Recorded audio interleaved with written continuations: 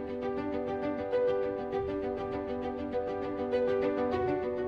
This is a building that was uh, designed in both form and the integration of technology to provide a really collaborative environment um, for students to work effectively in teams and where they're not just learning from the instructor passively, but they're interacting with the instructor and the data and each other. Students to share data in real time. Um, an example of that is the digital cameras that we have in all of our microscopes and we're able to instantly see what the students are seeing in their microscope and put that up on the monitor for all of the students to see.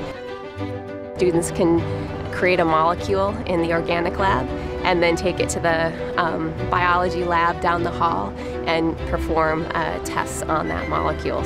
At capacity, we're going to have 14,000 students coming through this building every year and 80% of those will be coming from outside the College of Science. I think in the College of Science we're really excited to introduce the Chaney-Hale Hall of Science to the entire Purdue community.